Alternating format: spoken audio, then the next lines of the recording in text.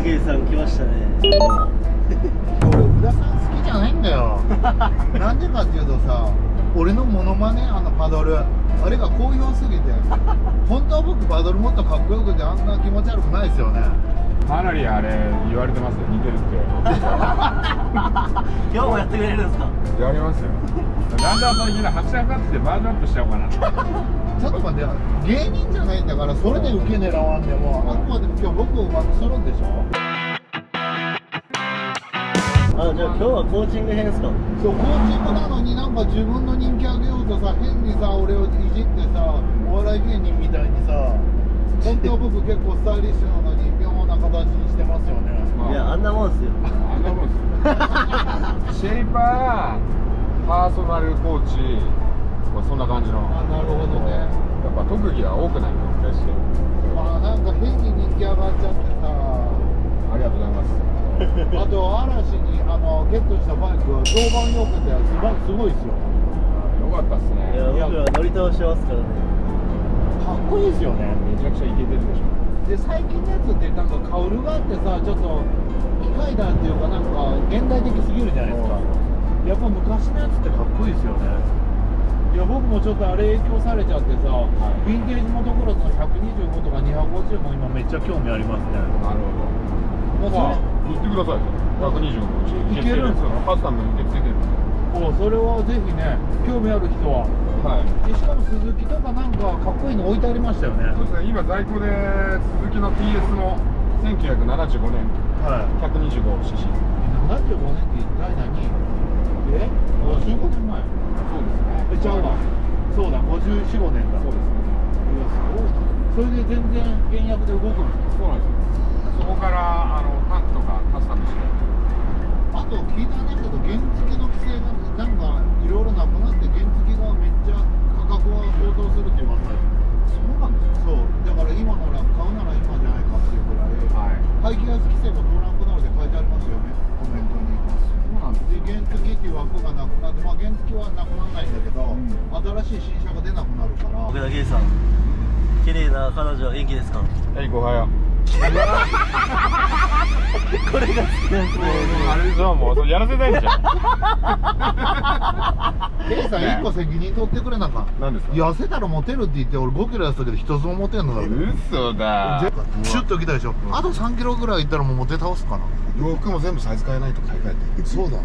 そうパンツがパンツが合わんくなるでしょ。5キロちょっとじゃ歩いとるとずるっと下がってくのはそこまでやろそこまでやろあの乗せるのやめてくれる？もいいいじゃないですか。うまあだけどモテるために頑張りますよ。いやかっこいいっすよ。じゃあコンビニ行ってもういいっすわ。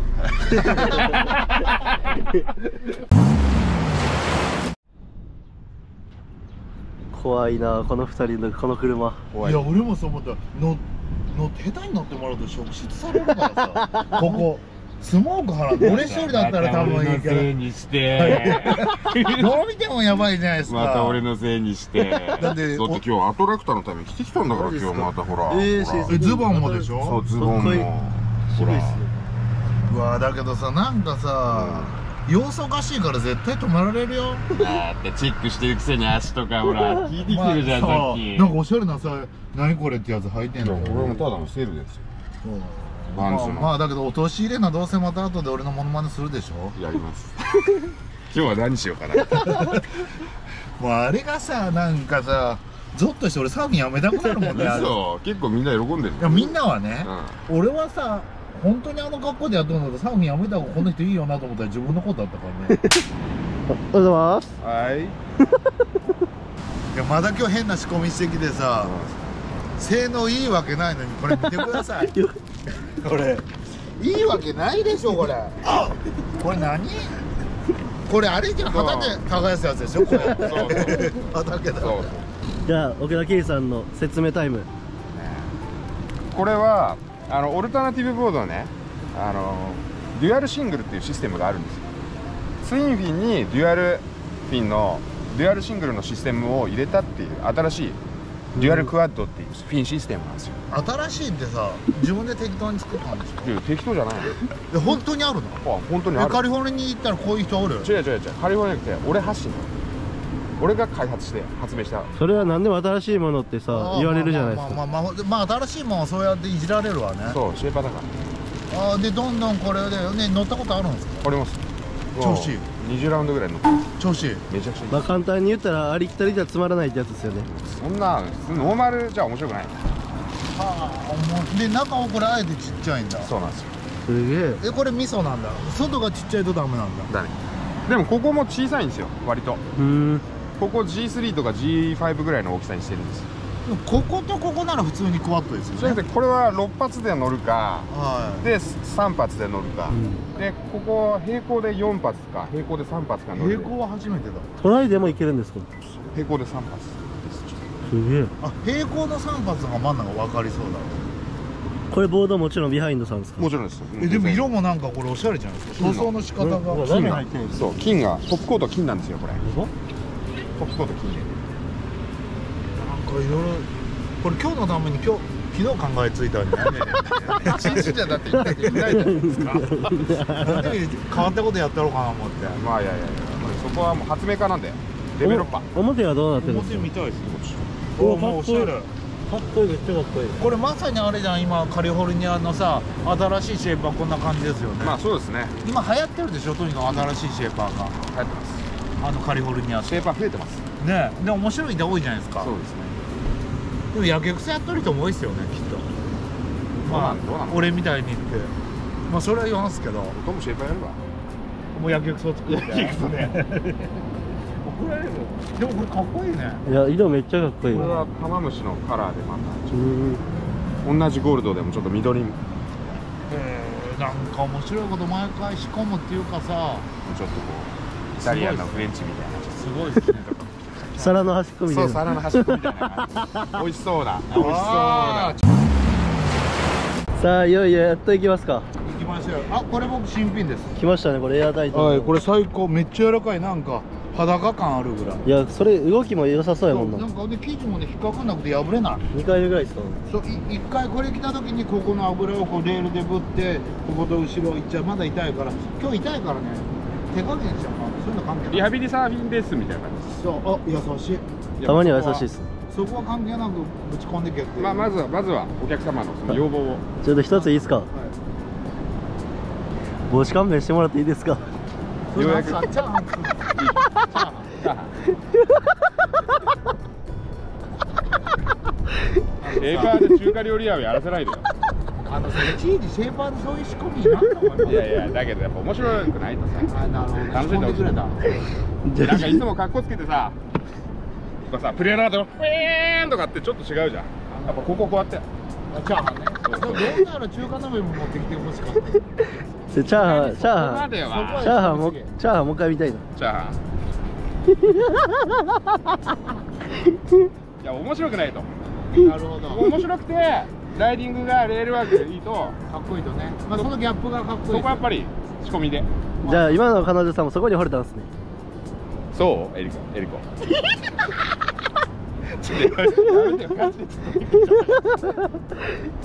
じゃあそろそろいいっすかもう。じゃあお話がもこれでモテるっていうのが信じられんわ。結構多分さその彼女ゲテモン食いだよね。うそうだよそうだから一回もうやめられなくなっちゃったんじゃんそう濃い濃い味付けを。であねあの未知の世界行っちゃったね。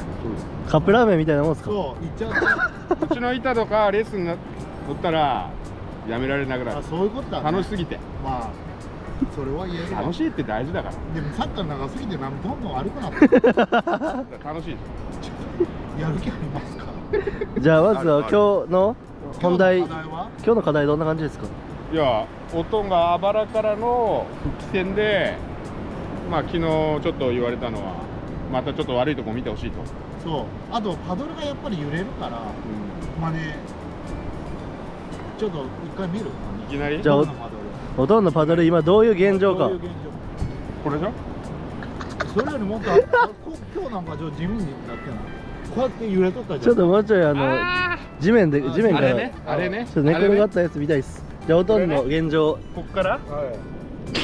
まあ通常はこうだよね、はいはいはい。じゃあほとんどは？い嵐とかね、はいだけどあおほとんどがこうですえそこから立つ時が？た立つまでやってくださいよ。こんな感じですね。でチャーハン帽子をどうするえそうチャーハンで帽子。それをスタイリッシュにしようと思ったらどうするんですかいややっぱさやっぱスタイリッシュに行くならスッスッスーからのパン。パン。パンでしょ。マジで、ま、これっすよね。ああなるほどね。ちょっと遅くて。そう。じゃあやってみますか。スタイリッシュ。ここは大事だ。パッパッパスー。まあ最後。ちょっと左手をね前に出すのがコツなんですよ。なるほどね。それで隙間が浅いからよいしょってなっちゃう。そこういう風で上げてまあちょっと痛いんだけどでここれ今やってると大俣三太郎さんになるからここはい。そうでこういくじゃないですかで軽く、ね、これでこの時点で茹でちゃってるでしょああ。もう少しね。ちょっとね溝落ちぐらいに中心の意識を持っとく。溝落ちのこの骨に。うーん。そこ痛いとこぐりぐりやってますよ。でこういってこうじゃないですか、うん。でここでちょっと前に出してでスパンさでつま先から立って立ち上がるときにかかとがこう真横になるこれが大事。でこんな感じでね。でシューッと力抜いて。で最近ちょっとまたアップデートしてるんですよ実は。みたいな新作？巷でフィッシュとかミッドレグス流行ってるでしょ、はい。でこれちょっとロング系の技なんだけどやっぱレールを入れながら乗るっていうのが、これガチのあれなんだよ、はでもさ音レール入れが入れながら乗るって理解できやんくないできねえか。いいやわかるよ。いや。できねえかって教えよう。いやででもでもさ でもそこを分からしてくれるのが奥田圭さんスタイルそうでこれを体感できない人はこうボードに乗って最後こうやって帰ってくるときにちょっと傾けてあげる、うん。じゃあ加速するから。分かってんだよそれ意味わかる？だって帰る時にさボードで寝っ転る時横にレール入れんと走んない？そうでしょ？だからちょっと入れながらさーっとこうスピードつけるそういうことね。それでおっさんとか自分らぐらいの年になると筋力落ちるとこれ落とせんくなってくる。はいはいはい。それを解消するスタンディングの仕方がある。見たいな。これガチの。見たいっす。これねここにストリングあるでしょ？真ん中に立たない。真ん中にだ進行方向にちょっと立つの。じゃあこれまあガチのトレーニングなんだけどすごいこれが役立つんだけどパーっていってさあ。でちょっとこっち側に立つ。ここで立つともうカーンってレールが入った状態でえ？ストリンガーがこうあったらそう。右に走りたい時はこっちに乗るんですそうかそうそうそうあボードサーフィンこうやってやるじゃん。レールかまさなあれ後ろ行っちゃうそう。で結構みんなそれ言わないんだけどスターサーファーとかまあ本当それをしっかりやってるんですよ、へー。ショートでも。そそれれを心がけてやるととやっぱりパドルが必死こぎすぎて揺れんよ何がまあ何が変わるか。何が変わるかっていうとニュートラルのスピードが変わるんですよ入ってる深さが変わるから。これ結構プロではい。だからジョンとかケリーとかみんな速いじゃないですか。じゃあそれ音はまあテイクオフがまあもちろん第一ですけどと乗れたらそれもやってほしいの。わかりました。ちょっとここをやって力を抜いて立ってるだけでレールが入ってるでしょイメージはねあるんですよあの帰りの時わかるもん。だってまっすぐだと後ろ行っちゃうけどちょっとこの雨にするとシャーっと行くじゃん。インサイドまで、あれだってわか前言ってちょっと気づいてんだけど。とそう。いややる気はあるんだよいやノーズの向きじゃないよ。レールのこう知っとるよ。レールをかますんだよ。今日はでもこれでライディングイメージちょっと聞いていきたい。まあだからこのまあ波に対して、この波でやっぱり3ターンってこう2ターンぐらい大きくパーンっていかんでもいいからシュワーンシュワーンってインサイドまで。できや3ターンぐらいでインサイドまでしたいな。そこ無理してレール入れたままスッスッスッスッパーンでいいんじゃない？そうそういいやん。それでいいやん。フィニッシュだみたいなフィニッシュだけで。まずあはーまあスピードつけてね。そこができてから途中のアクションを狙っていく。ちょっとあんま欲張りすぎっすよ。まあまあまあでも得意技がまた始まるんじゃねえの？バックオンとかやろうとしちゃって。無理はしないでくださいよ。ああいうこと言ってる。であ分かんねえかとか教える気ないもんね一応お金払ってますよね。そうなのにもうもう分かんねえよな教えんとこうっていう感じ。でもこれさはいつもおとんの味方です。うわでも新しい発見できてよかっいたやよかった。もうおとんが上手くなってかっこよくなってね。うん。そう持てればね。親父のアイコンだから今。まあねだけどまあねまあ。おとんしかもウエットシワ出てきて体も痩せちゃって。そう。そういうことね。いいなあ痩せて。だって痩せればテイクオフも早くなるじゃんいいな。僕なんか撮影中ずっと腹へこましてますからああ俺それ忘れとった。どこがニュートラルかわからないよし行きましょうよ「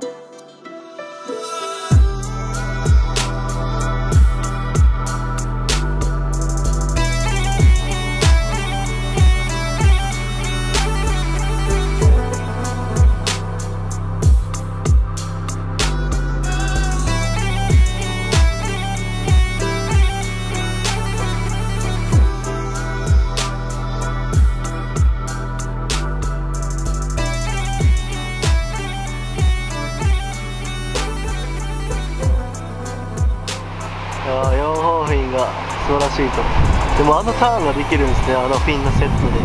横にスピード横のスピードだけではなくターンのねキレもあるということでオールラウンドに使えるんですね。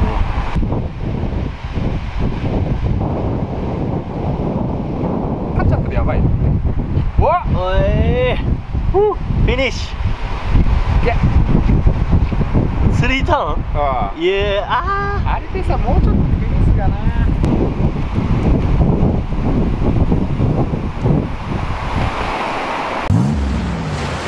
えまたなったけど早いな結構頑張ったいや今日スタイリッシュに乗れてるわーバックサイドよかったよ。バックサイドは良かったよね。あの無理しないで行くっていううん。ところが今日課題だった。今日それを教えてもらっていつも「いや!」とかやろうとするからそれをもう昨日の YouTube じゃなくて深く行き過ぎて軽く。でもちょっともう一一本欲しいなと。あともう一本行きますか。ちょっと奥田圭さんに教えてもらって、はい。ちょっと最後のライディング気になったっすよねちょっとね。ちょっとガリだったでしょいや。そういうことじゃなくてもう少し最初に言ってたことはレールを入れて手前まで行ってグリグリグリグリやらない。あぐるぐるやったよね。ちょっと無駄にグリグリがなっとった今無駄にターンしすぎと。って無駄にターンしすぎとるからちゃんと真ん中に立って最後パッて。なるほどね。無理しないワンターンでよくね。そうワンターン。ってやりすぎたね。そうそうそう。自分でもそう思った。じゃあビッグスリーターンがほら入ってまたほら うん。始まってたからそこちょっとこれでできた気になって、ウェーイとか言って、うん。ビデオ見るとゾッとするやつでしょ。こんなになってるでしょ。力入りすぎてしかもしゃがみすぎて、ね、そう。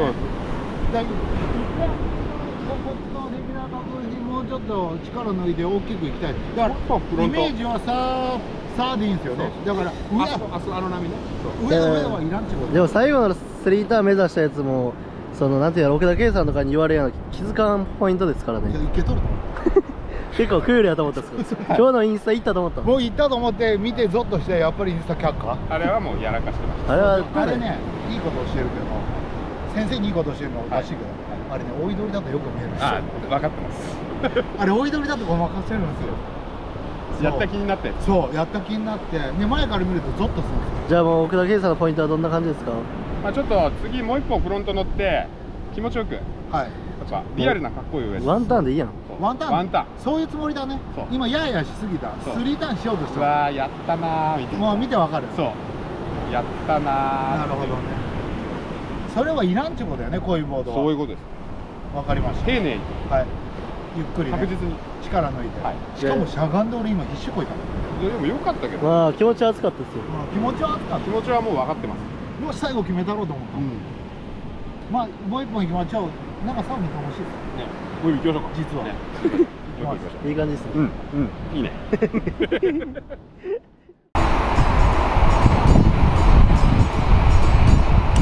お 僕の昔の前のモデルの時からつけて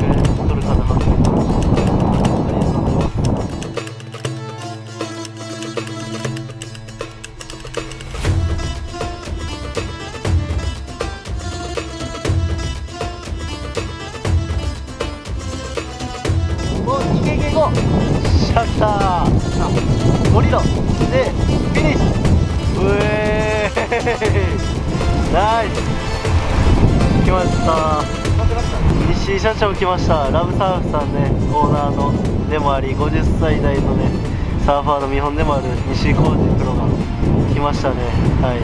もう今度の10月30日のね、えーコミュニティ限定のメープル静波イベントでそこでもねスペシャルゲストとして来てくれてであと試乗会もプレスボートメイヘムもしてくれるみたいなんでね本当にいつもありがとうございます。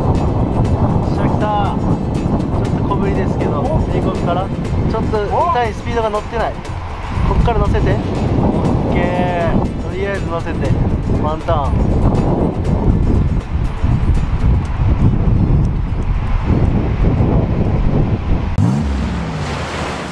お疲れ様です。お疲れ様でした。お疲れ様です。今日音良かったんじゃないですか？いやややするのをねやめろっていうのをやってバックサイドもレギュラーもちょっとイメージ湧いてきてる最後ちょっと力抜け取ってるいやよかった。一本どえらいワンターン取り逃しましたね。いやあれより過去一であれ多分8.5でだよね。パーン乗せてから残ったでしかも俺も絶対転んでもいいやって諦めとったらおいおい転んでねえしと思ってそうしたら誰かと喋っていやもうあれは西井さんやから許してもらえるっますあよ西井さんだったらもっとねあれジンジンだったらジンジンだと思ってジンジンクソ思っとったけど西井さんだからしょうがない。ですはい。でもあれ西井さん見てくれとったんかな？いやめっちゃうまくなっとるって言ってましたねああよかった。西井さん見てくれたら久々にこれ乗ったらやっぱりいいねこの板そう楽しみましたうんでフィンはね今回このセッティングをしました。えー、なぜかっていうとこの色が似てるから。ですよね。そう思いました。はい色で決めてます。後ろがちっちゃいからどうとかは関係ないです。色が合うから。だと思いました。ですよね。いやでも今回奥田圭さんのさスクールレッスンめっちゃ分かりやすくてよかったなリラックスしてそうあのいい例があるじゃん。必死で自分がビッグスリーターン決めたと思ってこんなんして生きとったやつがうわーなっとったけど実はゆるーく最後に行ったやつの方がいいってことでしょ？いやそう最後さ良かったっすよね。余裕余裕あって。でバックサイドは意外にまあ大きくシュンシュンと2ターン入ったシュンシュンとだけど。まあちょっとガニ股がどうやらいっすね。そうガバックサイドがどうしてもこれこんな直さなあかんねバックサイドはなりまたになりやすいまあほとんどトレードマークでも直さなくていいんじゃないですか。まあいいんだけど。そう群れるまたまた50年後とか。50って死んでもね。ただその進歩も楽しいじゃないですか。そうです。そう無理に直さんでもいいけど治れば治ったら嬉しいから。はい確かに。